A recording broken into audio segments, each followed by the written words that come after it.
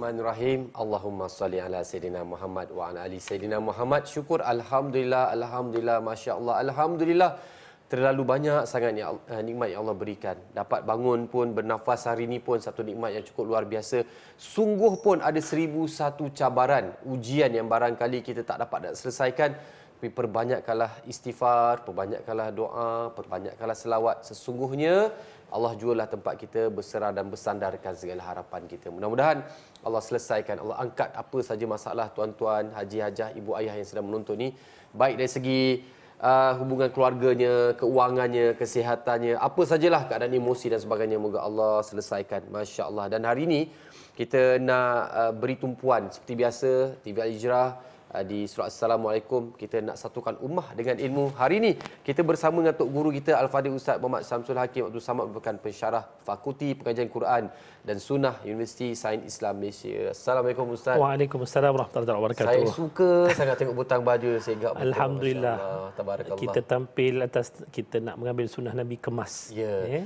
Ini kalau kali sekali tengok kan, alah ini mesti tajam. Contohlah kan. Ya. Uh, kalau boleh kita ha. ni nak pastikan biar tanya, jangan tengok lepas tu kita kongsikan benda yang tak pasti. Sangka benda yang bukan-bukan kan. Ya kan. Uh. Tuan-tuan kalau saya sebutkan butang ni harga dia lebih kurang dalam uh, seingat saya lah, uh. lebih kurang harga dia dalam 8 ringgit lebih.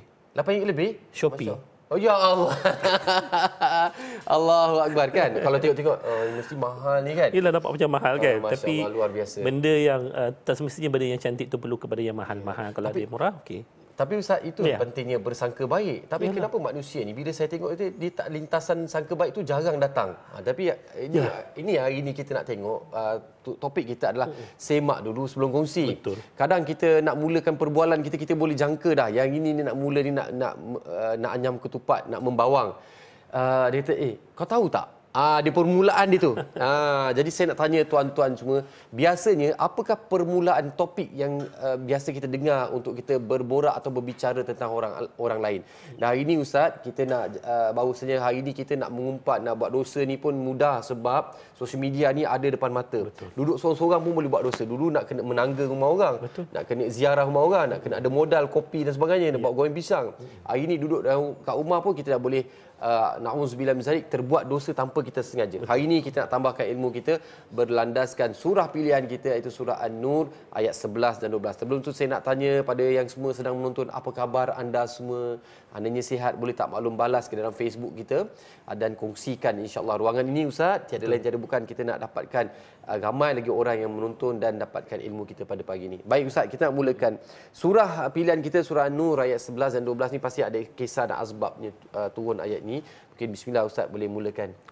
Bismillahirrahmanirrahim. Assalamualaikum warahmatullahi taala wabarakatuh. Tuan-tuan, puan-puan, para penonton TV Al-Hijrah yang setia dengan rancangan program Assalamualaikum secara khususnya dan juga teman yang bersama-sama di studio ni dalam dia memuji orang tu tetap kelebihan tu Allah. dimiliki oleh tak, beliau. pakaian yang tak apa tak apa. Butang tu butang tu tidak menghilangkan kelebihan-kelebihan Allah. yang lain. Apapun yang Allah berikan kelebihan kepada kita kita mesti menggunakannya pada jalan kebaikan yang terbaik untuk kita kata mengumpul ganjaran-ganjaran akhirat nanti insya-Allah. Insya pagi ini kita nak melihat sorotan terhadap ayat yang ke-11 dan ayat yang ke-12 daripada surah An-Nur sebagai pemula bagi bicara tajuk kita yang kita nak sebutkan peringatan kesihatan untuk diri kita semua semak sebelum kita nak kongsi. buat apa pun kongsi ke nak sebar ke nak apa ke minta semaklah terlebih dahulu supaya tidak timbul di hujungnya nanti penyesalan-penyesalan tak mampu lagi nak merubah sesuatu yang buruk yang telah pun berlaku akibat daripada kegelojohan kita ya. untuk sebar sebelum daripada kita semak. Ayat yang ke-11 dan juga ayat yang ke-12 ni kalau kita semak apa yang telah pun diceritakan menerusi antaranya riwayat daripada Al-Imam Al-Bukhari rahmatullahi taala alaih dan juga para imam hadis yang lain berkenaan tentang ayat ini. Ayat ini ada cerita di sebalik penurunannya ialah satu ketika berlakunya satu fitnah yang sangat besar tuduhan yang jahat yang telah dilontarkan kepada seorang individu yang masya-Allah kalaulah masing-masing mengetahui kedudukan individu ini pasti masing-masing akan jaga lidah masing-masing. Even kalau kita katakan orang-orang yang biasa sekali pun siapa pun tidak berhak untuk disakiti dengan kata-kata tuduhan-tuduhan yang tak benar Ini kan pula kedudukan seorang wanita yang digelar sebagai ummul mukminin, isteri kepada Rasulullah sallallahu alaihi wasallam, ibu kepada sekalian orang beriman yang lain, anak kepada seorang yang diberikan gelar As-Siddiq iaitu Abu Bakar As-Siddiq, tak lain tak bukan iaitu Sayyidatina Aisyah radhiyallahu taala anha. Satu ketika kembali dalam satu permusafiran bersama-sama dengan Rasulullah, dia tertinggal daripada kafilah yang telah pun Rasulullah sallallahu alaihi wasallam bergerak bersama-sama dengannya. Maka bila mana di keseorangan pendek ceritanya ada seorang sahabat yang lain yang bernama Safwan perasan akan wujudnya Aisyah radhiyallahu taala anha maka dia membawa pulang Aisyah ke bumi Madinah pada ketika itulah bila mana orang-orang munafik melihat keadaan Aisyah yang bersendirian bersama dengan Safwan akibat daripada peristiwa yang berlaku tadi iaitu tertinggal daripada kafilah Rasul sallallahu alaihi wasallam maka pada ketika itulah orang-orang munafik mengambil kesempatan untuk menyebarkan berita-berita yang tidak benar terhadap Aisyah tuduhan-tuduhan yang palsu.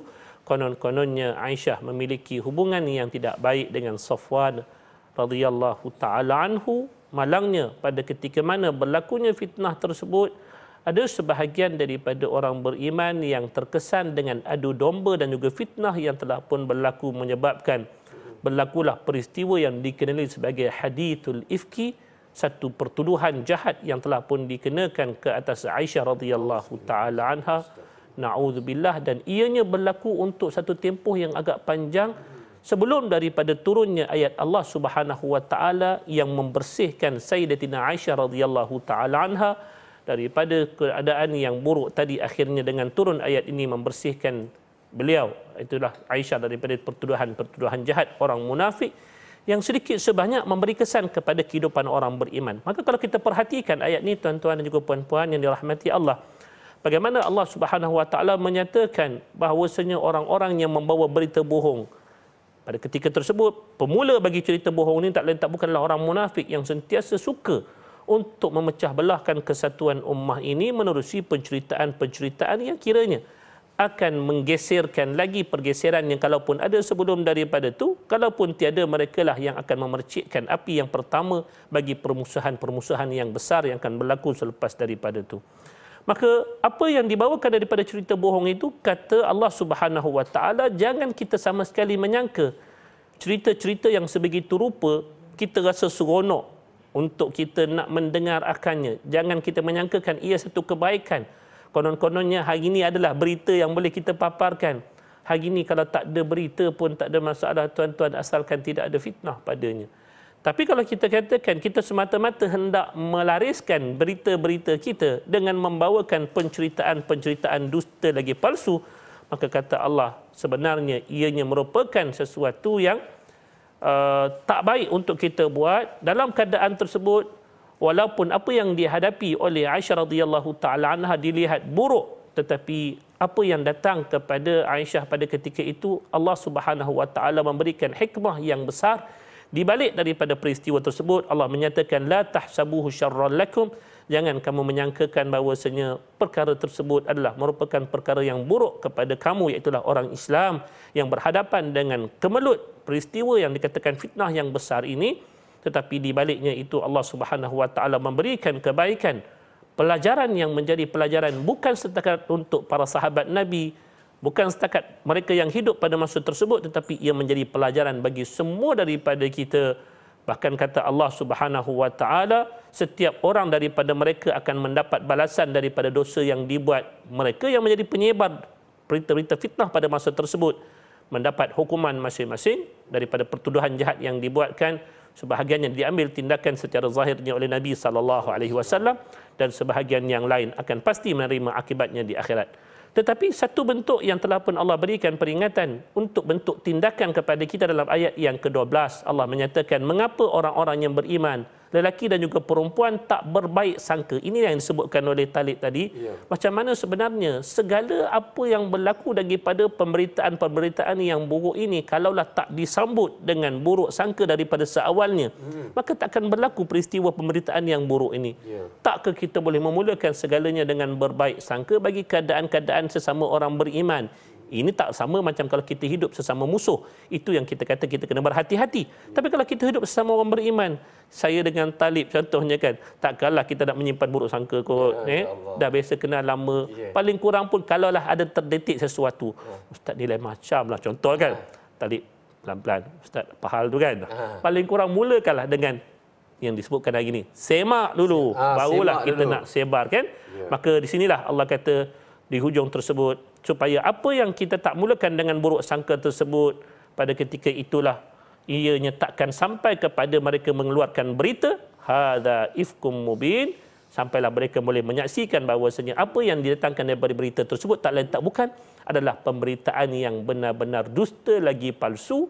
Maka selesailah takkan tersebarlah setelah daripada kita tak berburuk sangka kita akan ada proses semak dan juga imbang di sana. Dan di situlah akan terang segala-galanya akan dibawakan kepada kita yang namanya kebenaran bahawasanya apa yang cuba dilontarkan daripada berita itu adalah palsu semata-mata. Kalau tidak, ya. tak selesai cerita eh ya, daripada satu mulut kepada satu mulut. Betul. Tapi masalahnya tadi hari ini kan, ya. mungkin kita nak bincang kan? Ya.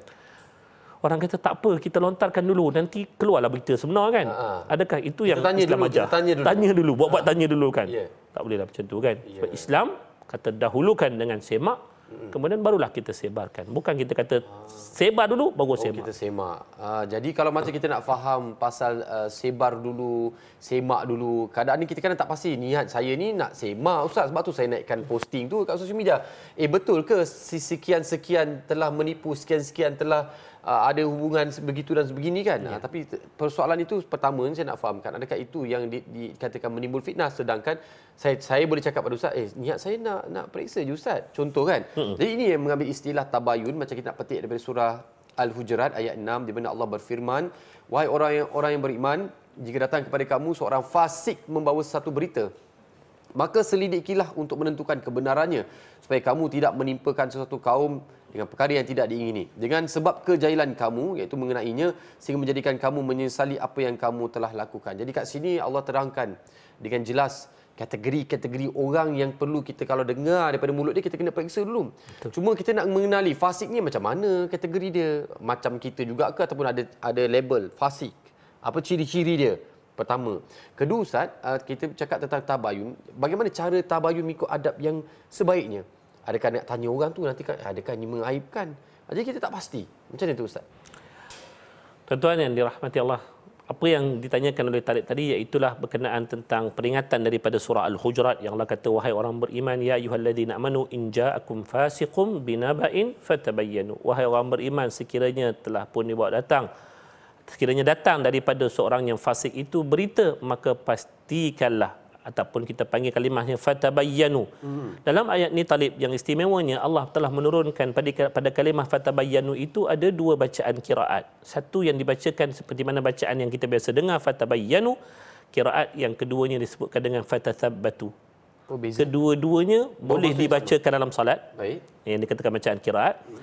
Yang bezanya apa maksud tabayyun? Tabayyun bermaksud kita memeriksa sesuatu dengan teliti. Baik. Kalimahnya daripada kalimah tabayyana ataupun bayyana kita dapatkan keterangan yang jelas terhadap sesuatu. Memeriksa sesuatu dengan teliti itu yang dikatakan tabayyun. Tetapi maksud tabayyun itu tak terhenti di situ. Bila mana kita lihat kepada khilaf yang kedua daripada kiraat bacaan yang kedua daripada kiraat disebutkan sebagai fatathabbatu yang turut sama datang daripada sisi Allah yang telah pun disampaikan oleh Nabi sallallahu alaihi wasallam kepada kita Kalimah tasabut ni kata Imam Syaukani. Penjelasan yang pertama yang telah pun diberikan oleh Imam Syaukani terhadap kalimah tabayyun adalah memeriksa dengan teliti. Manakala tasabut ni apa beza berbanding dengan tabayyun? Tasabut ni iaitulah hendaklah kita berhati-hati. Dalam kita nak mencari-cari keterangan itu pun tolong hati-hati sebab bukan semua orang berhak memberikan keterangan. Hari ini pakat semua nak sembang. Benda yang dia tak tahu pun kadang-kadang dia bercakap juga. Itu masalahnya. Yeah. Maka Al-Quran minta kepada kita tolong hati-hati. Kalau benda tersebut kita bukan ahlinya untuk berbicara ataupun kita bukan penyaksinya untuk berkata-kata, maka untuk apakah perkataan itu dikongsikan ataupun disebarkan? Yang pertamanya dikatakan tasabut adalah berhati-hati. Yang keduanya kata Imam Syaukani yang dikatakan tasabut itu bukan takat berhati-hati, jangan tergesa-gesa biar lambat asalkan selamat. Itu bahasa dalam pemanduan kereta. Yeah. tapi dalam dalam dalam hal penyebaran berita juga sebenarnya ia hal yang sama. Mm-hmm. tolong jangan tergesa-gesa. Benda yang tergesa-gesa ini banyaknya menerbitkan penyesalan di kemudian harinya tak sempat apa-apa terus naik angin. Yeah. Kita kata dalam family pun kadang-kadang jadi kan. Betul. Tak tanya apa, ni kenapa ni balik lambat kan? Hmm. Ah ini memang awak ni memang selalulah balik lambat, tak ada benda lain. Sedangkan kawan tu baru berpeluh, tukar tayar pecah tengah jalan kan. Yeah, faham. Dia dalam kata tengah panas hati. Hmm. Ah, lepas tu berperang lah. Awak ni tak tanya dulu kau sebagai, ah ini yang tak cantiknya tuan-tuan. Jangan tergesa-gesa Sebaliknya kata Liman Syaukani, tolonglah lihat dengan keilmuan dengan keilmuan yang sebenar sampailah jelas sesuatu perkara kepada kita. Barulah yang dikatakan tathabut itu berlaku. Kalau kita lihat tabayun, tathabut dia ada empat ciri dia tadi tanyakan. Uh. Macam mana kita nak pastikan tabayun itu berlaku sebenar-benarnya? Uh. Kalau kita rangkumkan daripada kefahaman yang datangkan oleh Imam Syaukani, yang pertamanya tolong periksa. Periksa betul-betul. Uh tak kira lah apa jalan yang kita ambil untuk kita nak periksa tapi bukanlah pastinya bukanlah dengan cara kita keluarkan dulu dekat sosial media weh saya ada benda ni ni tolong Betul. tanya sikit itu ha. bukan lagi periksa itu memang nak sebarkan jawabnya ya. walaupun kita kata eh niat saya nak periksa periksa bukan caranya begitu kalau sesuatu itu melibatkan contohnya melibatkan kita kata kehilangan barang kan hmm. kita akan cari polis ya. eh? dan sebagainya pihak yang berautoriti untuk menyelesaikan perkara tersebut kalau dalam bidang keagamaan kita akan merujuk kepada contohnya pihak Jabatan Mufti. Kita yeah. akan cari pihak Jabatan Mufti. Kalau yang melibatkan hal-hal pentadbiran kita cari akan cari pentadbir-pentadbir untuk menjawab persoalan-persoalan kita. Kita tak akan cari orang yang salah. Kalau di media itu agak-agak semua orang ke yang berkepakaran pasti juga yang di sana ada yang pakar bercakap tanpa ilmu. Ha, itu masalah je. Pakar simbang pakar simbang, simbang. ada. Ha, ha, sembang gajah terbang orang yeah, kan. semua ada. semua ada. Naudzubillah So yang pertamanya tolong periksa dengan teliti. Hmm. Yang keduanya yang dikatakan tabayun tasabut ni ciri yang kedua iaitu kena penuh berhati-hati. Sebab kadang-kadang dalam dunia akhir zaman ini kita bukan hanya melihat fakta itu semata-mata hendak ditampilkan sebagai fakta. Tapi ada satu istilah yang digunakan dalam bahasa orang putih sebagai deception. Macam mana kita nak alihkan daripada sesuatu yang benar itu menjadi sesuatu yang salah, kadang-kadang ditampilkan satu keadaan yang nampak macam seolah-olah itulah perkara yang utamanya, tetapi ada sesuatu yang dibaliknya. Yeah. Ha, itu yang dikatakan penyelewengan fakta dalam bentuk kalaupun ia kebenaran tetapi ada sesuatu yang dibaliknya yang sebenarnya yang nak dicapai daripada matlamat tersebut. So kena hati-hati bagaimana permainan akhir zaman ini yang dikatakan perang maklumat hari ini kan. Yeah. Kalau satu Semua ketika dahulu awal. betul. Kalau satu ketika dahulu peperangan yang disebutkan adalah peperangan teknologi persenjataan zaman dululah. Eh? Tapi hari ini antara yang terlibat sama dalam peperangan adalah peperangan maklumat. Siapa yang menguasai sumber kepada penyebaran maklumat, maka dia dikatakan akan memenangi peperangan persepsi yang awal sebelum daripada dia memenangi peperangan uh, yang sebenarnya selepas daripada itu. So yang ketiganya iaitulah tolong jangan tergesa-gesa apapun yang berlaku tenang tenang duduk relax. Datanglah berita sebesar gunung Everest sekalipun. Sabar. Ada benda yang kadang-kala kita tak nampak pada seawal masanya tetapi ianya akan terselah setelah berlalunya masa. So sabar ini adalah kunci yang utama dalam kita nak melihat akan kebenaran sebab kadang-kala kebenaran itu tak terbit masa yang kita kehendaki Sebaliknya, ia tiba pada masa yang Allah berkehendak ianya akan dijelaskan seperti mana peristiwa Aisyah ini. Peristiwa fitnah Aisyah ini tak berlaku hari yang sama Aisyah dituduh. Yesus Jawapan selesai. hari itu juga Tuhan bagikan. Oh, tak. tak eh? Kalau kita baca sirahnya berlalu beberapa masa yang panjang. Hmm. Sampai akan dikatakan Aisyah pada ketika itu menangis. Seolah-olah kita kata dengan tangisan yang panjang. Maksudnya bengkak mata lah. Allah kesan sampai ya, kesan, kesan daripada fitnah yang berlaku tersebut barulah turunnya ayat Allah yang menjelaskan setelah beberapa waktu. Kenapa? Supaya ia menjadi pelajaran kepada semua bahawasanya kesan daripada fitnah itu bukan kecil tetapi ia kesan yang besar. Okey? Dan yang keempatnya iaitulah lihatlah dengan keilmuan yang sebenar yang dalam terhadap sesuatu peristiwa ataupun khabar yang datang sampailah jadi jelas sesuatu isu itu kepada kita, maka inilah yang kita harapkan masyarakat ambil. Ada empat perkara ni, tolong periksa. periksa. Yang keduanya, tolong hati-hati. Yang ketiganya, jangan tergesa-gesa. Hmm. Yang keempatnya, lihatlah dengan kacamata keilmuan yang sebenar.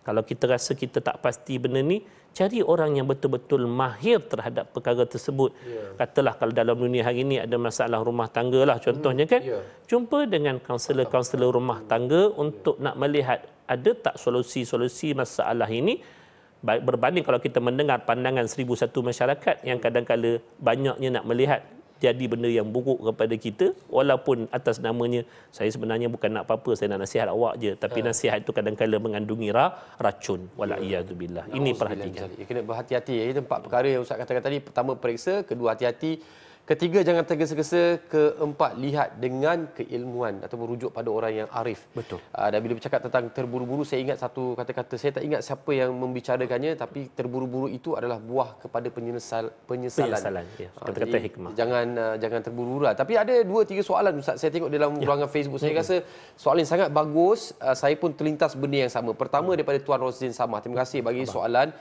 Uh, soalan ini macam ni Ustaz, hmm. bagaimana pula sekiranya apa yang disebarkan itu adalah benar dan fak, dan ada faktanya, ada buktinya.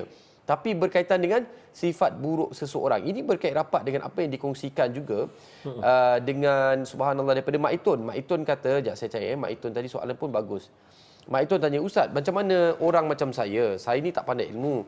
Tak banyak apa yang orang cakap, kita dengar. Dan kita sampai niatkan jangan orang lain terkena boleh ke ustaz macam tu? Contoh saya kata si fulan dan si fulan ni kerja dia menipu.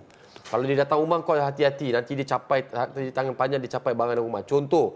Jadi dia pun dia pun bagi tahu orang supaya orang berhati-hati. Yang itu macam mana ustaz? Ha, jadi jawapannya sekejap lagi kita akan kongsikan kepada anda semua terus berkongsi terus kekal di kaca televisyen.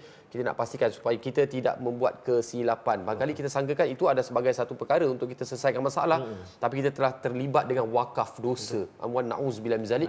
Kembali lepas ini. Allahu Akbar, Alhamdulillah dan bertalu-talu soalan yang kita terima sebenarnya. Uh, saya juga nak kongsikan satu soalan. Saya rasa sebab dah dua kali Zabrina Kamarudin ni ulang. Saya tengok soalan yang ada kat atas, saya terlepas tadi. Saya suka-suka tak jumpa. Diulang sekali lagi. Zabrina bertanya, saya faham sangat situasinya. Ustaz, bagaimana kalau kita nak meletakkan fasik itu, uh, ia, dia fasik atau tidak apabila berita yang disampaikan hanya dikongsikan oleh mereka yang kita tak tahu dia siapa. Contoh macam sekarang, yang Zabrina katakan, dia gunakan fake account mendapatkan reaksi dan sebagainya. Dan benda tu viral orang kongsi orang komen orang hentam pula. Dan uh, bagaimana kita nak nak kategorikan orang ni fasik atau tidak? Kalau orang tu kalau orang individu kita nampak dia kita tahu aktiviti dia ini fake account. Macam mana tu ustaz? Jawab tiga soalan tadi tu. Ya. hmm. tuan-tuan inilah yang pertama sekali kalau kita kata kita lihat dalam ayat ke-6 bagaimana sebelum daripada cerita tentang berita. Allah kata in ja'akum fasiqun sekiranya datang kepada kamu seorang fasik, barulah Tuhan sebutkan tentang binabain dengan berita. Berita tu datang selepas daripada individu yang kita kenali. Yeah. Itu pun diminta untuk kita periksa kalau individu tersebut dikenali sebagai orang yang fasik. Hmm. Ini kan pula individu tersebut entah siapa-siapa. Itu lagi sepatutnya kita kena periksa supaya kita kata kita takkan terlibat dalam penyebaran berita yang tak benar. Kalau pun orang kata, eh dia ni selalunya kalau dia kongsi berita selalunya betul. Tapi masalahnya siapa dia tu? Masih lagi question mark. Hmm. Maka itu sebenarnya kita tak boleh jadikan alasan, oh sebabkan sebelum daripada ni track record dia, dia, dia kongsikan benda yang benar walaupun di individu yang majhul. Hmm. Maka tetap sahaja konsep Islam hmm. menegaskan bahawasanya kita tetap perlu merhatikan tentang sifat orang yang menyampaikan terlebih dahulu kemudian berita yang disampaikan. Kerana setiap satu berita yang benar dalam kita kata sunnatullah apa yang Allah tetapkan didatangkan terlebih dahulu individu yang dijelaskan kedudukannya barulah dibawakan beritanya seperti mana para anbiya Kalaupun Allah nak tunjukkan jalan kepada penyebaran berita yang benar itu adalah dengan cara tak apa, tak penting individu tersebut. Yang penting berita itu keluar. Maka tak perlu Allah utuskan yang namanya Rasul. Tak perlu dipetik nama-nama Nabi Musa. Yes. Nabi... Tak perlu dipetik nama individu tersebut. Tetapi Allah tampilkan dulu tokoh yang bertanggungjawab terhadap berita yang nak disampaikan terlebih dahulu. Barulah berita tersebut. Ini didikan untuk diri kita. Supaya kita kata kenali individu tersebut yang menyampaikan berita sebab itu asasnya. Sebab kalau datang daripada orang fasik pun kita perlu cerita, apatah lagi kita datang daripada satu individu yang tak pernah kita kenal siapa dia, nama pun fake account. Takkanlah orang nak memulakan sesuatu pekerjaan yang baik, dia memulakan dengan kepalsuan. Ya, diri sendiri pun tak nak Diri tunjuk. sendiri pun kita kata dah palsu. Maksudnya tak, dia tak nak bertanggungjawablah dengan apa yang dia kabarkan. Sefaham saya begitulah. Kalau kata dia orang yang bertanggungjawab, niat dia saya nak menyebarkan yang namanya keburukan ini supaya hmm. orang lain terselamat daripadanya, seawal daripadanya selamatkan diri kamu menjadi daripada menjadi orang yang palsu terlebih dahulu. Hmm. Sebab setiap daripada perkataan kita kalau kita yakin benar, maka kita pasti akan berani ke hadapan membawakan kebenaran tersebut. Walaupun kita mungkin tahu, oh kalau saya buat benda ni, saya akan menerima akibat dia. Tetapi yeah. inilah perjuangan orang yang membawa kebenaran seperti mana para rasul. Bila mana mereka membawa kebenaran, mereka tahu akibat yang mereka akan terima. Tetapi apa yang Allah bakal balas daripada keberanian untuk menyampaikan kebenaran tersebut. Biar apapun yang dihadapi, inilah sunnatullah zaman berzaman. Jangan kita ubah yang dikatakan taktik ini, strategi ini akhirnya dia akan menimbulkan satu fitnah yang lebih besar. Boleh saja orang akan menggunakan alah orang kata disebabkan benda ni benda yang kita tak tahu sumbernya apa dia walaupun orang kata ia benar macam mana sekalipun konsepnya itu daripada sisi syariat syarak ia tertolak. Sebab dia mesti kena tampil dengan orang yang akan bertanggungjawab terhadap kebenaran yang dibawa. Nabi Allah datangkan para sahabat orang kenal siapa mereka kalaulah dibuat begitu pada pada agama Islam kan hadis-hadis contohnya kan yeah. tak dikenali siapa periwayat-periwayat dia hmm. tiba-tiba orang kata eh hadis ni baguslah tapi periwayat tak, tak ada dikenali, majul tak, tak tahu di uh, sifat dia macam mana betul. Hmm. maka hadis tersebut kok mana pun kita takkan terima walau sebaik mana pun ia sebab tak diketahui siapa pun dia dari sudut penerimaan ataupun penolakan sebuah hadis hmm. kalau tak diketahui siapa periwayatnya maka paling tak ada kita kata kita tawakuf tawakuf tu kita nak ambil pun tidak tolak pun tidak hmm. tapi paling kurang itu bukan sesuatu untuk diangkat sebagai amalan masyarakat hmm. itu dalam sudut ilmu hadis yeah. tapi kalau kita kata dalam ilmu penyebaran berita konsep yang sama sebenarnya tampilkan individu tersebut yang berani untuk bertanggungjawab atas kebenaran yang dibawa hmm. kemudian barulah sebarkan kebenaran tersebut supaya kedua-duanya beriringan hmm. setiap satu kalimah itu ada penanggungjawabnya terhadap individu yang membawakannya wallahu alam Allahu akbar maksudnya individu itu perlu wujud dan perlu berani menyampaikan apa yang dikatakan pada dia sebagai satu kebenaran Betul. dia perlu wujud orang tu kita tahu identiti dia yang mana kita kena pasti hmm. uh, sama ada dia fasik ataupun tidak ya. cakap pasal fasik ni ustaz mungkin boleh sentuh saya ringkas macam mana kita nak kena pasti ciri-ciri orang tu fasik ataupun tidak? Daripada perspektif syariah tuan-tuan, maksud fasik ini adalah seseorang yang melakukan dosa besar ataupun orang yang berterusan melakukan dosa kecil. Hmm.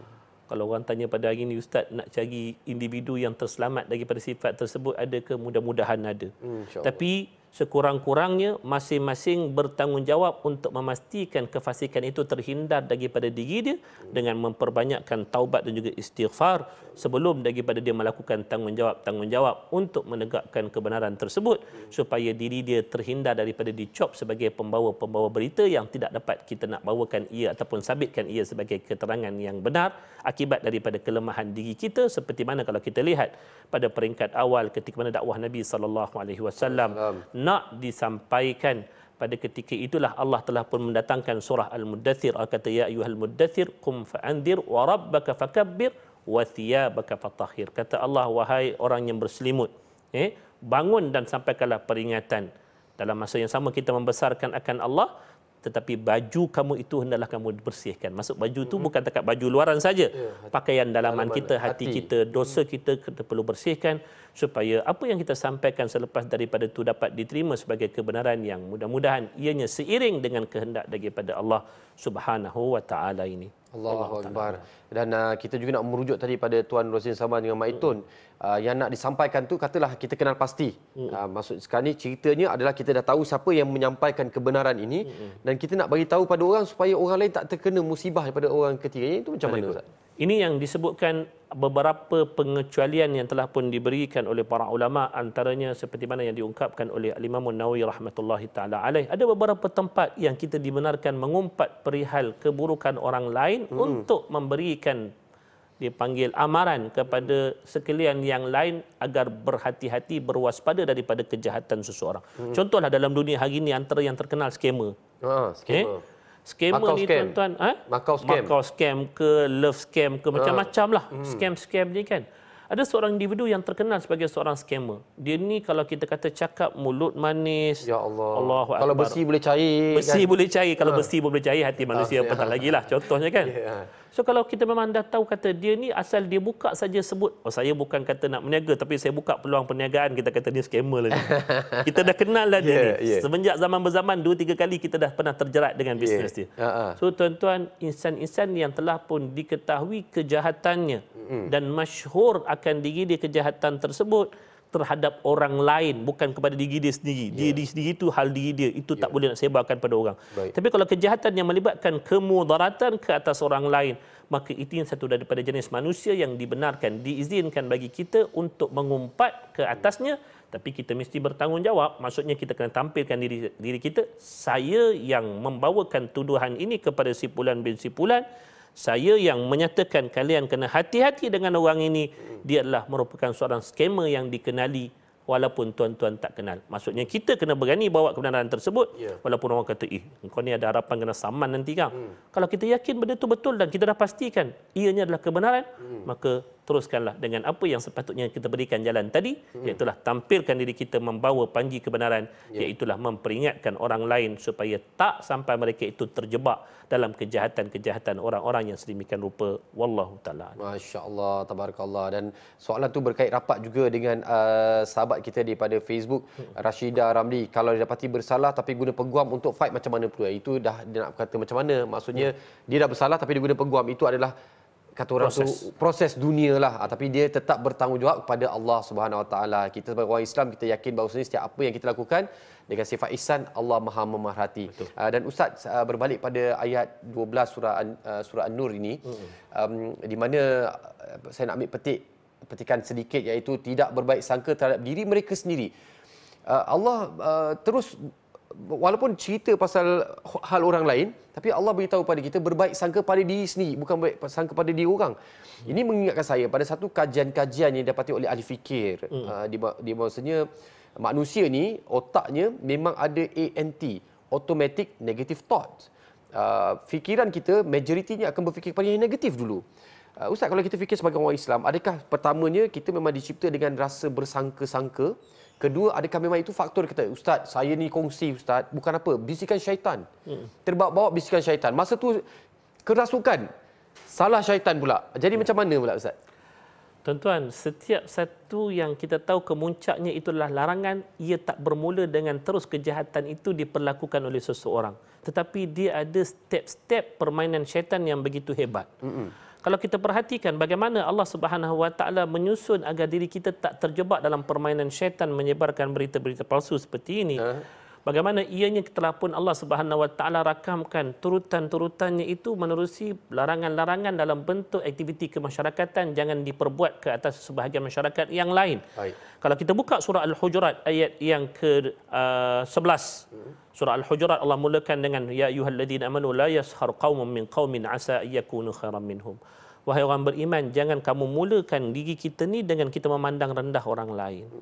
Sebab bila mana kita mula memandang rendah orang lain, apa yang kita akan lakukan pada ketika itulah kita kata uh, wala talmizu anfusakum. Kita akan mula mencela dia. Baik. Akan datang celaan. Lepas datang celaan, dah banyak celaan itu berlaku maka kita akan mula meletakkan yang gelar-gelar tertentu. Bila mana kita dah biasa dengan gelar-gelar tertentu, kita akan mula menyimpan buruk sangka. Dia ni kok mana pun, kalau apa pun yang dia buat, mesti jahat semua. Mm-hmm. Itu sebab ayat yang ke-12, Allah kata, Ya ayuhalladina amanu janibu kathira minadhan, wahai orang beriman, jauhilah kebanyakan daripada sangkaan ini. Mm-hmm. Sebab apa?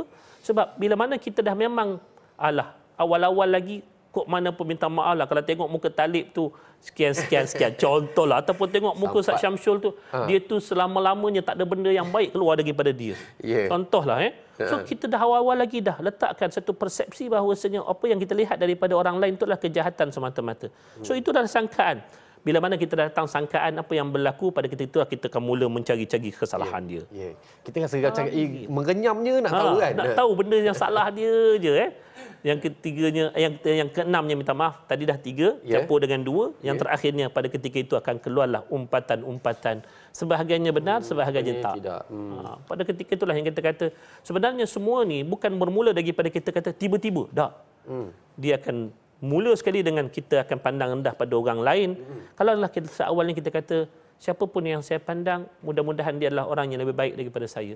Maka pada ketika itu kita akan menutup sebarang ruang untuk kita bersangka buruk hmm. melainkan kalau memang kita melihat kejadian tersebut depan mata tanpa sebarang kita kata keuzuran yang dapat diberikan. Hmm. Minta maaflah contohlah. Hmm. Kita memang melihat depan mata kita orang tu memang curi duit betul-betul, rompak tala pisau, pisau ha. dekat orang. Takkan bersangka baik pula kan? tak Itu dah memang depan mata yeah. dah. Ini takat nampak seorang tu bawa pisau. Ini mesti nak bunuh orang. Kawan tu baru balik sebelah lembu. lembu. Ha, korban baru dia. Kan? Contohlah. Yeah. So kita kata, benda tu kita perlu letakkan seawalnya jangan pandang rendah pada orang. Sebab bila kita pandang rendah pada orang, ia akhirnya akan membawa kepada satu benda yang terakhir sekali iaitu lah kalau tak mengumpat dia akan jadi fitnah. Itu je yeah. di antara dua saja. masya-Allah. Itu berkait rapat dengan empat asas pertama yang ustaz katakan tadi. Yang keempat itu adalah lihat dengan ilmu. Betul. Sebab tu kita kena ilmu ialah bersangka baik pun kena ada tahap-tahap dia. Uh, dan uh, subhanallah uh, tertarik juga apa yang dikongsikan oleh rakan-rakan di Facebook. Contoh macam Rohami Hitam kata hmm. berhati-hati menerima suatu berita jangan terus percaya dan sebar kepada orang lain. Kerana pertama kadang-kadang cerita itu palsu. Kadang-kadang kedua kadang-kadang cerita itu lama. Kadang-kadang itu cerita aib orang lain. Keempat kadang-kadang itu cerita fitnah. Terima kasih banyak. Berkongsi. masya-Allah kita pun sambil-sambil belajar dengan uh, para penonton kita. Terima kasih banyak. Berkongsi lagi teruskan. insya-Allah kita nak dapatkan juga maklumat kenapa agaknya ustaz. Kita ni ada sifat yang macam kalau kita dapat berita tu dia ada macam auto gatal dia macam eh ya Allah. Eh nak cerita ke tak? Eh ah dia macam tu tau. Eh kau tahu tak ah dia mula ah, kadang dalam grup WhatsApp Eh aku baru jumpa uh, sekian-sekian. Uh, kau tahu tak? Ah uh, dia punca dia tu ustaz kan. Uh, jadi macam kita nak jadi sumber pertama. Ah, tapi macam aku tak pastilah. Ah, tapi tak pasti. Ah, itu yang gatal kita kata. Minta maaf lah ayatnya. Kita akan sambung kejap lagi. Pernah tak anda melalui situasi-situasi macam ini? Ataupun anda pernah menjadi mangsa fitnah? Mungkin boleh kongsikan bagaimana cara anda hadapi. Kita akan berehat seketika. Alhamdulillah, terima kasih rakan-rakan semua yang terus bersama kita. Contoh macam Alias Razak kata, seronok pagi-pagi dapat ilmu. Dan daripada nasihat-nasihat untuk guru kita, Alhamdulillah, terima kasih. Uh, ada juga yang berkongsi Siti Hawa. Jangan hukum orang, fikir kebaikannya, hanya kesilapan sedikit je kita hukum. Tak tahu, jangan kongsi. Terima kasih. Uh, Umi Yati kata, betul Ustaz Talib, orang yang salam bawa ke kes mahkamah, itu proses dunia saja. Uh, banyak lagi Tuan Rozdin sama. Um, Masya Allah. Siapa lagi tadi? Aisyah Osman. Aisyah Osman kata, Um, ni Ustaz uh, daripada Aisyah Osman. Assalamualaikum Ustaz. Kalau dah terlepas cakap, ter. Bila nak minta maaf tu perlu ke cerita apa yang kita dah terlepas cakap tu? Mohon pandangan Ustaz uh, dan sahabat. Macam mana tu Ustaz? Yang terbaik daripada permohonan maaf, kita mengkhususkan apa bentuk kesilapan yang telah pun kita lakukan supaya jelas segala-galanya dan diberikan kemaafan yang sempurna. Hmm. Cuma dalam keadaan-keadaan tertentu, setengahnya kita kata mungkin ianya mungkin menerbitkan keadaan yang lebih memberikan mudarat. Yeah. Maka kalau dah dapat dibahasakan dengan bahasa yang sebaiknya, aku ada buat silap dengan kamu. Hmm. Contohnya saya termengumpat talik lah minggu lepas. Yeah. Contohnya. Tapi kalau saya sebutkan apa yang saya sebutkan, talik bukan nak maafkan saya, dia lagi yeah. marah saya yeah. kan. Tapi saya dengan talik ni nak kena lama. Yeah. Eh, talik Nasi lemak je selesai Ustaz. Yelah. Saya tak, tak mahal kos saya Ustaz. Contohlah saya kata, uh, Talib sebenarnya minggu lepas saya ni ada terkumpat awak. Eh, benda apa mengumpat? Kalau kalau baiknya tak payah awak tahu tapi yeah. benda tu saya mengaku saya buat tolong maafkan saya ya yeah. Talib eh. Uh. Kalau lah benda tersebut kita kata kita sangkakan lebih baik daripada kita menyebutkannya untuk waktu itu dan dia pun faham bahawa saja bukan tujuan kita kita tak nak sebutkan benda benda yang dah buruk, benda yang kita tahu dia pun tahu benda tu buruk tapi kita tahu dia punya subjek tu jelas apa yeah. dia mengumpat benda tersebut kan. So berpada dengan keadaan yang sedemikian rupa. Melainkan kalau benda tersebut memang memerlukan kepada penjelasan. Hmm. eh sebenarnya aku curi duit engkau sekian-sekian banyak. Benda tersebut kena jelas lah sebab nak pulang banyak mana kena pulang lah. Yeah. ini tidak awak curi duit saya banyak mana? Entah saya pun tak tahu berapa ambil je lah berapa-berapa tak, tak boleh lah. Tak clear benda tersebut kan. Hmm. Itu melibatkan hutang yang secara detail perlu diperjelaskan sedemikian rupa. Yeah. Tapi kalau benda-benda yang kita kata boleh ada tasamuh di sana, ada yang toleransi di sana, hmm. sebaiknya seperti mana yang telah pun diminta oleh Allah, hudil afwa. Hmm. Ambillah yang dikatakan kemaafan itu lebih utama yeah. berbanding kita meniti. Untuk saya sendiri, saya kata, saya kalau ada orang buat salah dengan saya pun kalau dia datang minta maaf saya pun tak nak dengar apa yang dia buat salah sebab apa itu akan menyimpan perasaan sakit dalam hati sakit saya. Hati kan? Baik jangan cerita. Baik jangan cerita. Simpanlah hmm. awak tu yang penting awak dah minta maaf saya dah pun maafkan insya-Allah. Betul juga. Nak ke kita kalau orang datang minta maaf kita dia cerita apa keburukan yang dia dah buat kepada kita kan? Kita jadi kita manusia biasa kan daripada kita tak tahu jadi tahu jadi sakit hati pula dah kita dendam. Aku santau budak ni kan. Contoh lah malam hari. Ha, Nauzubillah min zalik kan. Uh, masya-Allah dan um, apa yang membuatkan saya juga tertanya-tanya kadang menjadikan kita berbalik pada tadi yang dikongsikan. Tu mengingatkan saya pada satu kisah ataupun analogi yang pernah dikongsikan. Ibarat kita ni bercerita tentang hal orang baik atau buruk tu perkara kedua. Ibarat macam kita dah taburkan bulu ayam hmm. uh, dan ditiup angin kemudian bila kita nak minta maaf orang tu kata kau pergi kutip balik bulu-bulu ayam kau taburkan. Mungkin kita boleh dapat segenggam dua. Yang ribuan yang telah bertabur yang mungkin orang lain dah kongsi versi tambahan versi uh, kuah tambah dan sebagainya kita hmm. tak tahu macam nak selesaikan ustaz ya.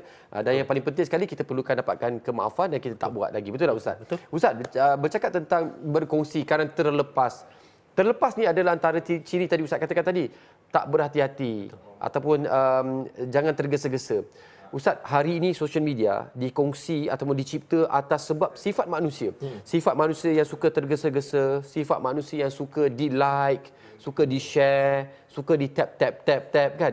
Dicipta sebegitu sebab itu memang sikap manusia.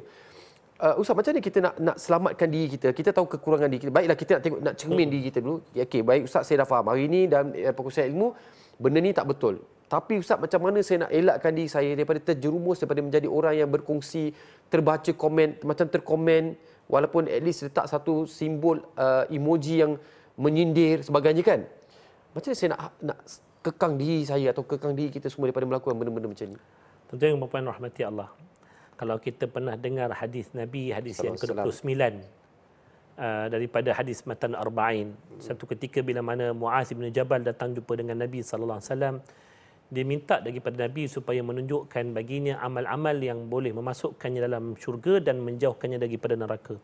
Nabi sebutkan macam-macam amalan daripada salatnya sampailah sedekahnya sampailah jihadnya semua benda tersebut nyatakan oleh Nabi sallallahu alaihi wasallam cuma saya nak ambil part yang akhir. Baik. Nabi sebutkan kepada Muaz Nabi kata ala adulluka bimalaki dzalika kulli. Nak tak kamu tahu apa apa kunci bagi sekalian kebaikan-kebaikan yang kamu boleh perbuat untuk memasukkan kamu dalam syurga dan dapat mencegah kamu daripada masuk neraka. Hmm. Nabi kata bila mana Muaz kata bala ya Rasulullah hmm. Bahkan aku nak tahu ya Rasulullah hmm. Nabi kata pada ketika mana Nabi pegang lidah baginda. Nabi pegang lidah baginda Nabi kata kuffa alaika hadha. Kamu hendaklah tahan ni lidah, lidah kita ni. Ya Allah. Dalam konteks lidah, hmm. lidahlah. Dalam konteks tangan, tanganlah. Tanganlah. Hmm tahan diri kita daripada buat benda yang kita tak pasti tadi mm-hmm. atas apa pun alasannya selesaikan tuntutan yang empat tadi barulah kita pergi kepada yang kita kata nak sebar ke nak apa ke. Lepas empat tadi dah selesai dia punya semak dia. Saya dah buat belum? Semak dulu. Dah periksa belum? Hmm. saya dah berhati-hati belum? Saya dah tak tergesa-gesa belum? Hmm. adakah saya telah semak dengan keilmuan yang sebenar ke belum? Hmm. dah lepas semua benda tu barulah kalaupun nak pergi semak dan juga kita nak sebar. Itu pun hmm. itu pun tuan-tuan ada satu pertimbangan yang kelima iaitu adakah mungkar yang kita nak cegah tersebut? Kalaupun ia kemungkaran akan menyebabkan tidak timbulnya kemungkaran yang lebih besar. Hmm. Kita nak cegah mungkar ni. Yeah. tapi kalau ada benda mungkar yang kita akan buat ini pencegahannya ianya akan menimbulkan mungkar yang lebih besar. Hmm. pada ketika itulah tolong tanyakan kepada orang-orang alim lagi berpengetahuan adakah patut kita sebarkan benda ini untuk tujuan kita kata supaya apa pun yang kita sebarkan pada ketika itu tidak menimbulkan kemungkaran yang lebih besar hmm. mudarat yang lebih besar hmm. kadang-kadang ada benda yang betul sekalipun contohlah kita katakan kita nak bagi tahu tentang keburukan seseorang supaya orang berhati-hati dengan dia. Ya. Tapi kalau kita bagi tahu apa yang akan berlaku itu mengakibatkan satu benda yang lebih besar yang kita tak mampu nak kawal. Tujuan kita nak selamatkan seseorang, hmm. tetapi akhirnya menjadi keributan bagi satu satu satu satu satu, tempat yang besar. ramai. Hmm. Sedangkan yang kita nak selamatkan pada waktu itu cuma seorang. Hmm. So pada waktu itu kena fikir adakah benda tersebut perlu diutamakan yang seorang ataupun yang perlu diselamatkan itu ramai. Mm-hmm. Ada benda yang kita kata pertimbangan-pertimbangan itu sangat-sangat halus, mm-hmm. maka pada ketika itulah apa yang perlu kepada kita kebijaksanaan sampai kepada peringkat bukan takat empat tadi mm-hmm. tetapi kelima dalam mempertimbangkan mana yang lebih mudarat, mana yang lebih bermanfaat. Mm-hmm. Ini yang kita perlukan kepada bimbingan para ulama' tak kala mana kita berhadapan dengan isu-isu yang sampai ke tahap yang sedemikian rupa. Hmm. Apapun kita kata, Nabi sebutkan, Nabi kata tahan lidah kita. Hmm. Mu'ad bin Jabal, bila Nabi sebutkan tahan, tahan lidah, lidah kita, hmm. tahan lidah daripada kita menggunakannya pada menyebarkan sesuatu yang buruk ini, yeah. pada lidah ataupun tangan kita ni, Mu'ad sampai pelik.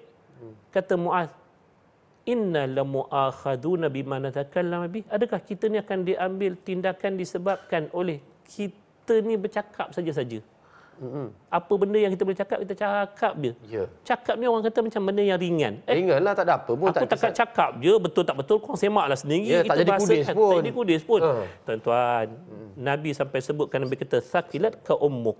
Ini bahasa celaan sebenarnya. Nabi kata, adakah manusia itu kita tak tahu bahawasanya mereka itu dicampakkan ke dalam neraka menerusi wajah-wajah ataupun pipi-pipi mereka disebabkan oleh kejahatan lidah-lidah mereka. Hmm. Ini sebab manusia yang masuk neraka ramai pasal apa? Ni. Mulut jahat, tangan jahat. Wala'iyadu Kalau dulu orang pakai mulut, yeah. hari ini ada advance lah, pakai yeah. tangan. Yeah. Ustaz saya tak cakap, Ustaz saya tulis je. Yeah. Ingatkan dia selamat, tuan-tuan apa pun yang kita buat tak kira lah dengan lidah dengan jari pun ya. ia tetap akan dipersatkan oleh Allah. Ya Allah. Biarlah orang kata kita ni tak up to date. Mm-hmm. Orang ni kadang-kadang dia suka gelar. Oi, kau ni betul-betul up to date semua berita kau boleh share. Mm. Tuan-tuan, biarlah orang kata kita ni ketinggalan zaman, tak tahu berita ke apa dia daripada kita ni masuk neraka mm. disebabkan oleh perbuatan kita tak semak, mm. tak periksa, tak betul-betul pastikan berita tersebut nak tarik balik kalau berita tu dah tersebar macam talib cerita tadilah. Mm setelah kita melepaskan bulu-bulu di jalanan hmm. nak mengutip bulu-bulu yang kita sangkakan nampak macam tak ada apa-apa ala takat bulu je kan hmm. bulu ayam kalau kita hmm. kita nak kutip balik bulu-bulu yang tersebar setelah ianya tersebar tambah-tambah dalam dunia media sosial hari ini yang tidak yeah. bersempadan hmm. berita 10 tahun lepas yang tersilap sebar pun orang sebar balik hari yeah, ini kan wallahu taala ada Subhanallah, Allah Akbar. Dan bila cakap pasal sosial media ni, kita nak memetik apa yang sahabat kita cerita ni lah. Mia Adi tanya, Assalamualaikum Ustaz dan Haji Talib. Bagaimana pula kalau kita ni suka baca komen-komen yang negatif? Adakah kita dikira bersumbat dalam komen-komen yang seperti membawang kutuk mengutuk tapi kita tak komen? Kita baca je scroll scroll tu. Tak tahu dah 30 minit. Sebab uh, komen banyak supaya kita dapat update lah kan Ustaz. Macam tu dikira sama mengumpat tak? Tuan-tuan, bila Nabi sebutkan tahan, tahanlah. Mm-hmm.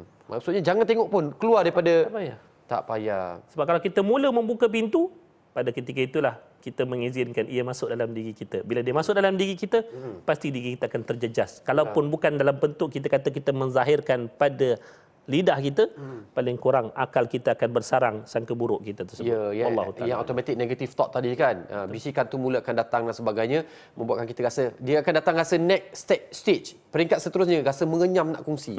Rasa ya Allah ah, kena kongsi ni ah kan. Uh, itu antara sifat manusia lah. Hmm. Ustaz kalau apa pula kalau dalam uh, sudut pandang mm. perkara yang disebarkan ni adalah perkara yang tak pasti sumbernya tak jelas dan sebagainya. Tapi dia membawa kebaikan. Contoh macam eh beramallah kamu dengan ayat ini sebab nanti uh, kamu akan dapat kekayaan.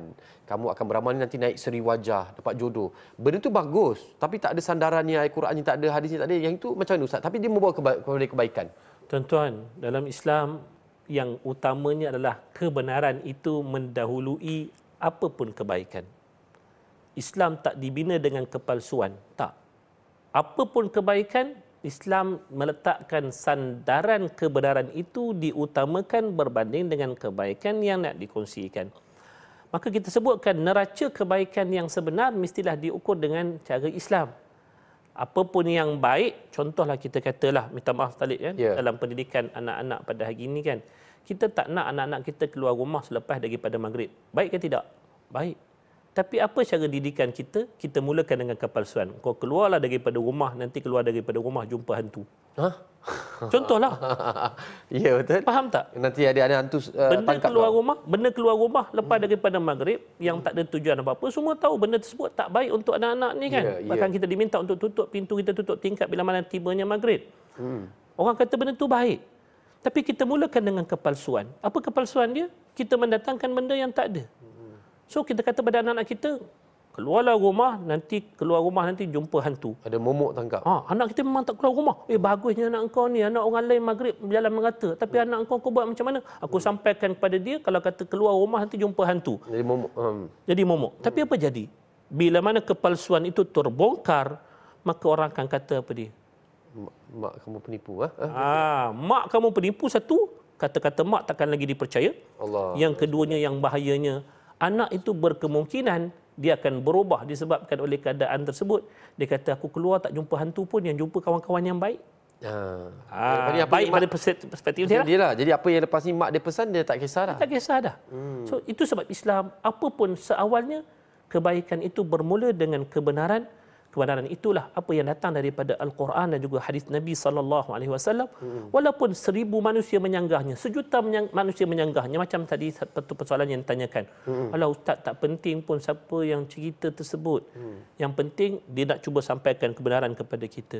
Tuan-tuan kalau kita terima prinsip ini sekali kita buka pintu ini ia akan membuka kefasadan yang sangat besar. Lepas daripada ni orang takkan periksa dengan jalan yang sebenar. Hmm. jalan sebenar siapa dia daripada siapakah ia datang dan bagaimanakah berita tersebut perlu dipastikan kebenarannya. Dua elemen yang perlu kita datangkan daripada penceritaan ataupun pemberitaan yang kita tak pasti.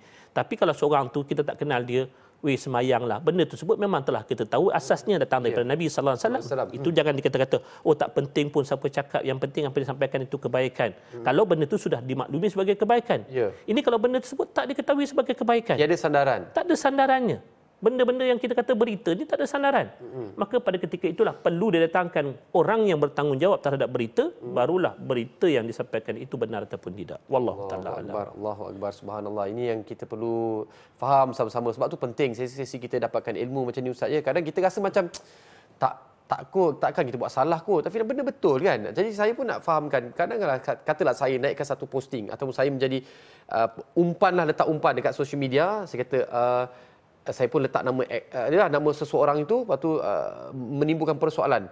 Saya tak mengata dia tapi komen-komen. Saya seolah-olah menjemput orang berkongsi dan orang boleh baca siapakah orang yang saya maksud dan sebagainya. Yang itu macam mana pula? Kita akan sambung tu selepas ini. Adakah anda pernah tak terlibat atau tengok posting yang bila maksudnya dia memang mengumpan dan kita boleh tengok komen kat bawah tu memang orang hentam orang tu dan sebagainya. Wa na'udzubillah min. Kalau pernah jumpa mungkin boleh kongsikan uh, anda pernah lalui situasi sedemikian rupa. Dan kejap lagi saya nak kongsikan yang dikongsi oleh seorang sahabat kita uh, bagaimana dia selesaikan masalah ketika dia difitnah. Ha, sangat menarik ini. Dia ada enam poin utama. Saya akan bacakan sekejap lagi. Kita akan lihat seketika. Subhanallah, terima kasih. Saya ingat saya tak tahu nak kata macam mana. Saya nak ucapkan jutaan terima kasih lah sebanyak-banyak pada rakan-rakan di Facebook, rakan penonton di TV Aija sebab mereka ni juga berkongsi maklumat dan saya juga belajar pada mereka. Betul. Ada juga yang berkongsi di ruangan Telegram. Assalamualaikum, terima kasih. Saya akan bacakan satu persatu. Ustaz, bagi saya masa sikit. Betul, para bagi saya masa sikit untuk saya bacakan beberapa pandangan. Contoh macam Ruziah Saleh di Facebook, dia berikan satu cadangan ya, bagaimana cara untuk diatasi kalau kita menjadi mangsa fitnah. Pertama, dia kata dia akan ambil cuti muhasabah diri. Maksudnya, dia nak tengok betul tak apa yang orang fitnah tu. Muhasabah diri dia dulu. Bagus dia akan ni. Kedua uh, sebab apa? Uh, kemudian kedua dia akan tengok kesan fitnah kepada ahli grup macam mana besarnya kesan fitnah ni. Ketiga kalau kata fitnah tu buatkan dia dipulaukan maka dapatkan pihak atasan. Orang yang lebih berautoriti untuk bantu. Keempat kalau pihak atasan pun sama tak dapat nak selesaikan ke, mudaratnya lebih teruk uh, dia perlu consider untuk ambil tindakan undang-undang. Kelima dia nak tengok penyebar fitnah ni kena bijak sebab akan bertindak ah biasanya penyebab fitnah akan bijak sebab dia akan menjadi berlakon jadi mangsa play victim. Dan keenam dia akan teruskan dengan uh, tindakan undang-undang. Terima kasih Ruzia kerana bagi pandangan ataupun cadangan. Dan ada banyak lagi uh, berkongsi. Contohnya macam Mia Adi kata terima kasih ustaz atas penjelasannya Ya Allah, hari ini saya akan jauhkan daripada benda-benda yang tidak berfaedah. Masya Allah, terima kasih. Sebab inilah manfaat yang kita mahukan, iaitu kita berkongsikan supaya kita sedar. Bukan kita tak tahu, tapi kita tak perasan kadang-kadang. Daripada Telegram pula, daripada Azliana Syahairi. Assalamualaikum warahmatullahi wabarakatuh, Ustaz. Bagaimanakah cara untuk kita berhadapan dengan manusia yang suka menyampaikan berita buruk tentang keluarga kita? Contoh, ada di kalangan keluarga kita menceritakan keburukan dalam hal dalaman kepada orang lain. Dia ahli keluarga kita, uh, dia terlibat mungkin ipar duai ke saudara mara tapi kerja dia mencerita pada keburukan orang lain kat janjikan benda tu sampai balik kat kita. Tu, uh, itu pertama nak tahu macam mana kita nak buat. Kedua daripada Maimun Muhammad Maidin bertanya Assalamualaikum Ustaz mengapa perbualan akan jadi rancak bila disulami dengan cerita-cerita yang mengundang ke arah mengumpat. Dia jadi macam sedap sangat. Kenapa jadi macam Ustaz? Ha, dua benda ni. Okey, yang pertamanya soalan berkenaan tentang macam mana kalau telah pun berlaku kitaran penyebaran yang namanya berita buruk yang hmm. akhirnya sampai kepada kita. Hmm. Yang pertamanya sebelum daripada kita pergi kepada penyebar berita yang pertama tu, maksudnya penuduh yang pertama tu sepatutnya kita ajar jiran-jiran kita. Ajar macam mana nasihatkan kepada mereka jangan biasakan untuk kita jadi tukang postman tak bertauliah ni. Maksudnya menyebarkan cerita-cerita buruk jangan jadikan itu satu budaya. Satu prinsip yang kita perlu ingat. Apa yang disebutkan dalam pepatah Arab, man namma ilaik, namma alaik. Kita ingatkan semua orang, siapa pun yang mendatangkan umpatan orang lain kepada kamu, percayalah dia juga akan mengumpat kamu. Hari ini saya kena umpat di kalangan kamu. Apa yang didatangkan beritanya oleh sipulan bin sipulan ataupun fitnah sekalipun maka pada ketika itulah percayalah kalaulah orang lain yang bertindak sama menyampaikan fitnah-fitnah tersebut kepada akhirnya mangsa yang terakhir tersebut orang yang terlibat dalam rantaian tersebut takkan pernah selamat daripada penyebar yang pertama tadi. Ini kita kena ingat. So jangan pernah seronok orang lain kena umpat sebab apa?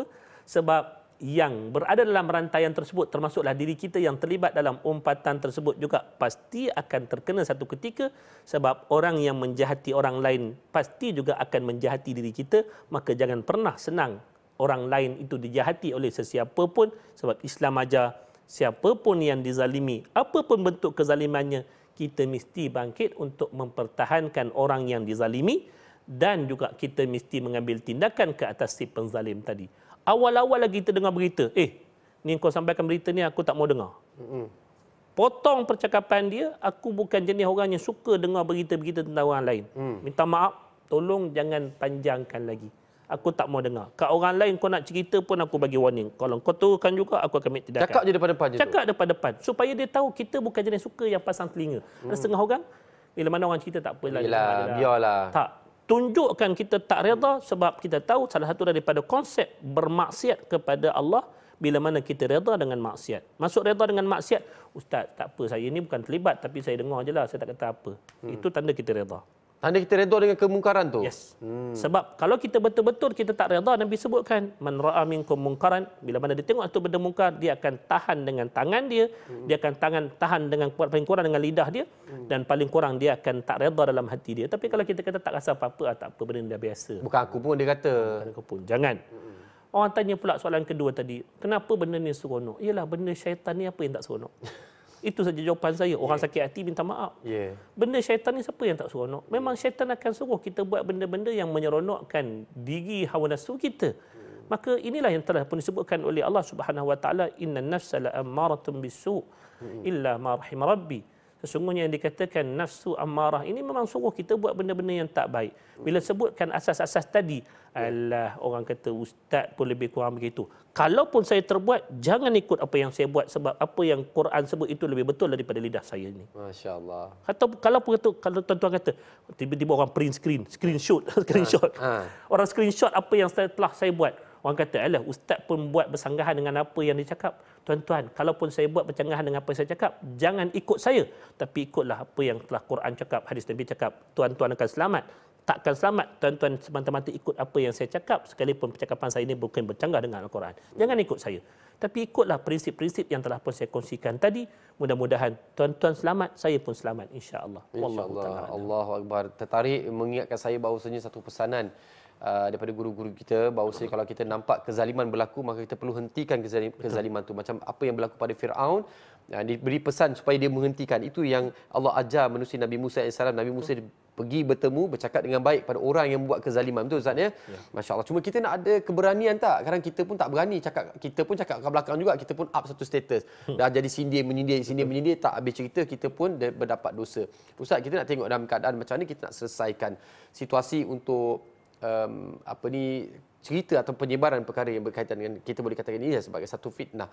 Bila kita tahu akan kesannya, bila kita tahu akan ke ke apa kejahatan yang berlaku kita akan rasa takut supaya dengan ketakutan kepada Allah ini menghentikan kita daripada berbuat keburukan. Ustaz, apakah dosa-dosa atau balasan-balasan pada mereka yang menyebar fitnah? Apa teruk sangat ke kalau penyebar fitnah cukupkah dengan uh, tak apa saya minta semalam saya post hari ini uh, saya minta maaf. Lepas tu saya buat lagi petang, besok pagi saya minta maaf. Adakah cukup sekarang itu ataupun sebenarnya kesan besar pemfitnah ni macam mana rosaknya agama Ustaz? Mungkin boleh bantu kita. Yang pertamanya tuan-tuan, kita sebutkan untuk diri yang memfitnah tersebut ataupun menyebarkan tuduhan-tuduhan yang tak berasas tuan-tuan boleh lihat dalam muka surat yang sama ayat yang ke-19 Allah kata innal ladina yuhibbuna an tasyi'al fahsyatu fil ladina amanu lahum adabun alimun fid dunya wal akhirah orang yang suka menyebarkan tuduhan-tuduhan yang tak benar hmm. di kalangan orang beriman ni Tuhan janjikan bagi mereka apa dia yeah. ni yang namanya azab yang perit Biasanya orang dengar azab yang perit ni di mana? Neraka. Di neraka. Hmm. Tapi Tuhan sebutkan orang yang melemparkan tuduhan ni azab yang perit itu Tuhan sebutkan dalam ayat 19. Tuan-tuan buka muka yang sama. Surah An-Nur. Surah ni, muka yang sama yang kita bicarakan ni. Baik.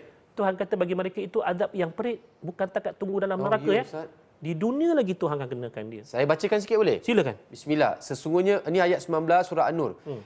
Sesungguhnya orang-orang yang ingin perbuatan yang sangat keji itu iaitu berita bohong tersiar di kalangan orang-orang yang beriman mereka mendapat azab yang pedih di dunia dan di akhirat. Dan Allah Maha mengetahui sedang kamu tidak mengetahui. masya-Allah nauzubillah ini yang kita kata ada setengah benda kita kata Tuhan tangguhkan hukumannya di akhirat ya. Tapi ini antara bentuk-bentuk keterlampauan. Mm-hmm. sebab kita tahu Nabi kata ada dua perkara yang mana ianya akan disegerakan azab bagi manusia. Yeah. satu derhaka pada mak bapak yang kedua al-baghyu. Baghyu ada? Salah baghyu yang maksudnya melampau melampau. Melampau ni antara bentuk melampau adalah melemparkan tuduhan pada orang lain. Kalau kalau dia kerja dia dia hentam orang je. Facebook dia kerja hentam orang je. Londikan cerita orang je. Tuan-tuan, ini yang kita sebutkan amaran daripada Allah, bukan daripada saya. Hmm. Tuan-tuan buka muka surat uh, dua muka surat sebelum daripadanya. Uh, muka surat sebelahnya, minta maaf eh. Hmm. Ayat sebelum daripada itu. Kalau kita tengok muka surat sebelah ni kan, Allah sebutkan ayat dia. Uh, sorry, ayat surah yang, surah Nur lagi. Surah Nur uh, ayat yang ke sebentar ya. Allah sebutkan dalam dalam firman-Nya Allah kata innal ladina yarmunal musanat surah An-Nur ayat ayat 23 minta maaf. Ayat 23 sebelah dia. Ha. sebelah je. Ha, ayat surah An-Nur ayat 23 maksudnya saya baca boleh? Innal ladina yarmunal musanat betul eh? Ada. cuba bacakan. Okey. Alip, sila. Uh, ayat 23, sesungguhnya orang-orang yang menuduh zina ke atas perempuan-perempuan yang baik yang dijauhi daripada perkara-perkara keji dan beriman mereka dilaknat di dunia yep. dan di akhirat dan mereka akan mendapat azab yang besar. Maksudnya kita menuduh zina kepada orang perempuan. Itu kalau kita kata tuduhan fitnah yang melibatkan kehormatan manusia. Hmm. Perbuatan kita kata sampai peringkat benda yang melibatkan kehormatan manusia yang kita tahu kita sedang berada di bulan Zulhijjah. Eh? Hmm.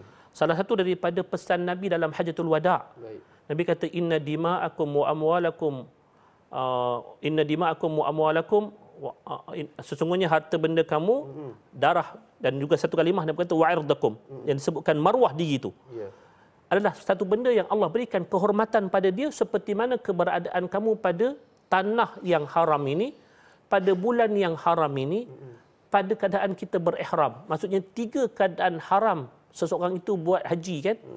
Pakaian dia yeah. ihram tempat, tempat dia tempat tanah bulan. Haram. bulan yang haram. Hmm. maksudnya diberatkan larangan tersebut maka nabi katakan kita mencemarkan darah manusia kehormatan manusia mengganggu akan harta manusia pengharamannya itu sampai ke tahap seolah-olah kita membatalkan seluruh amal-amal haji kita ibaratnya begitu Maka di sinilah kalau kita lihat apa yang Allah sebutkan dalam ayat 23 tersebut, hmm. sesungguhnya orang-orang yang menuduh wanita-wanita yang berzina, tuduhan yang berat sebenarnya. Yeah. Allah kata laknat tersebut akan kena bukan takat di akhirat eh, dunia lagi. Laknat ustaz eh. Laknat. Laknat ni berat kita tahu berat laknat ni macam mana ustaz? Apa kalimah laknat? Maksud laknat ni apa dia? Kalau kita dengar kalimah rahmat Seorang yang hidup di bawah rahmat Allah Ta'ala, dia akan dapat hidup dalam apa juga kesukaran yang dia hadap. Sebab apa? Rahmat Allah Ta'ala itulah yang memberikan dia sumber kehidupan semasa setiap saat yang dihidup ni. Hmm.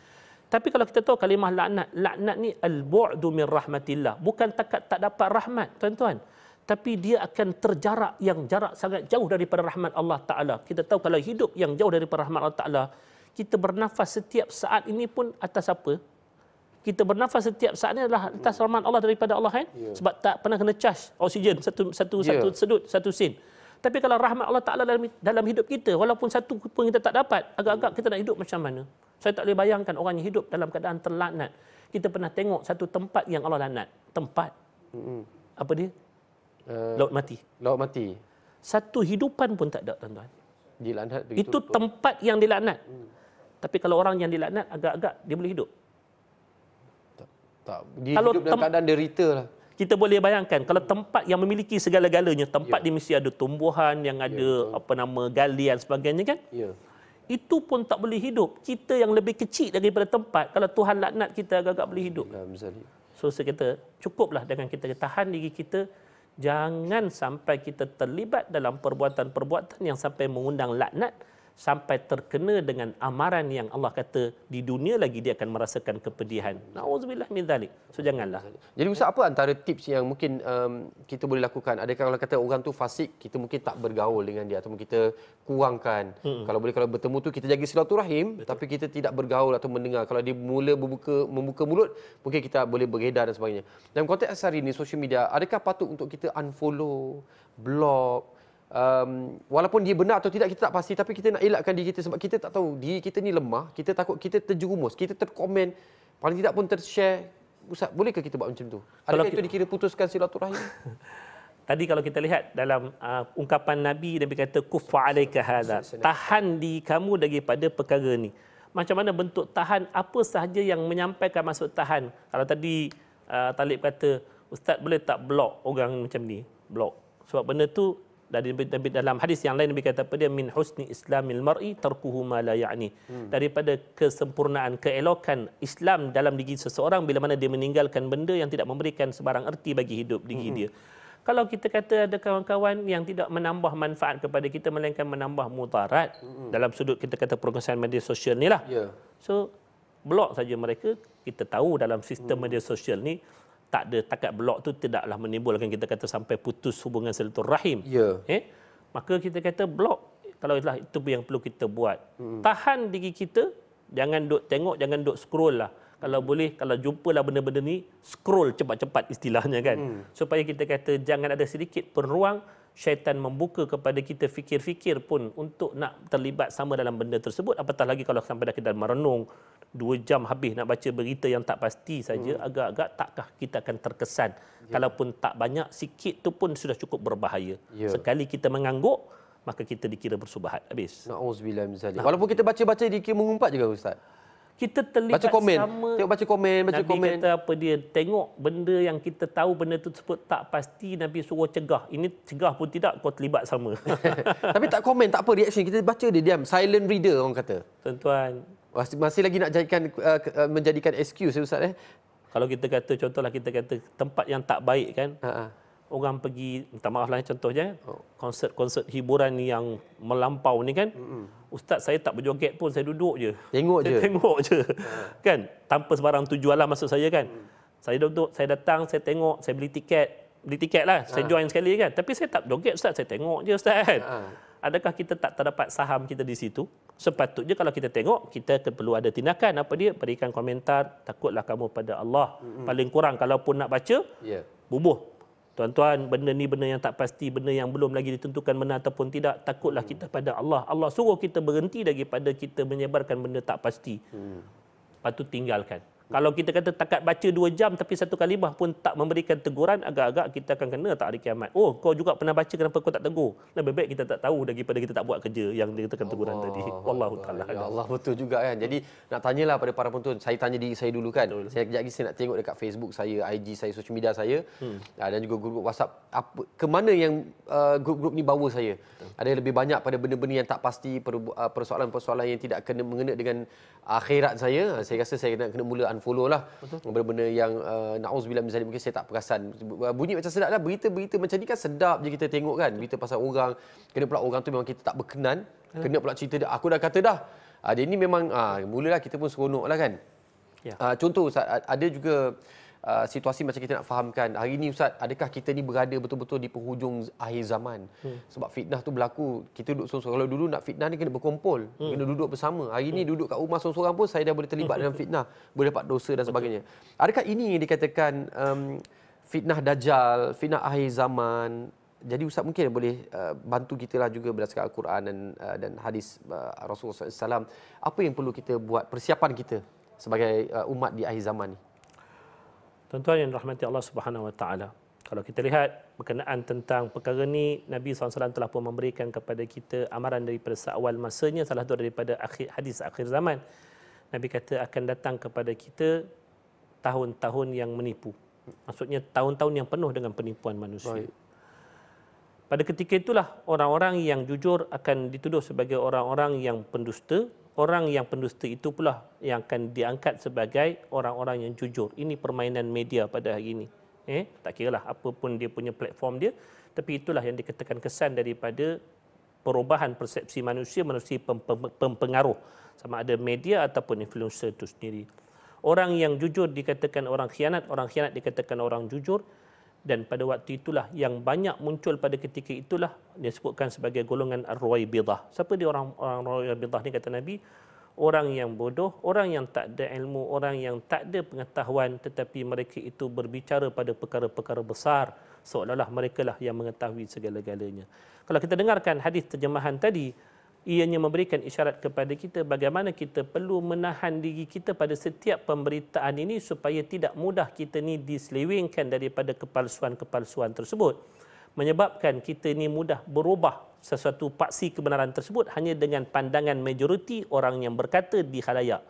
So, kenapa pentingnya kita tahan diri kita daripada terlibat sama dalam bicara-bicara yang tidak dipastikan kebenarannya? Macam tadi dah saya kata, sampai kan Nabi sebutkan orang yang jujur itu boleh dikatakan sebagai pendusta dan orang pendusta itu boleh dikalihkan personaliti dia menjadi orang yang jujur. Pasal apa? Sebab manusia pada hari ini ada kecenderungan untuk terlibat dalam bicara majoriti yang mana ditentukan kebenaran itu adalah menerusi majoriti bukan menerusi asasnya. Bukan asas ilmunya. Bukan asas ilmunya. Sampailah muncul di sana disebutkan sebagai golongan roi bildah.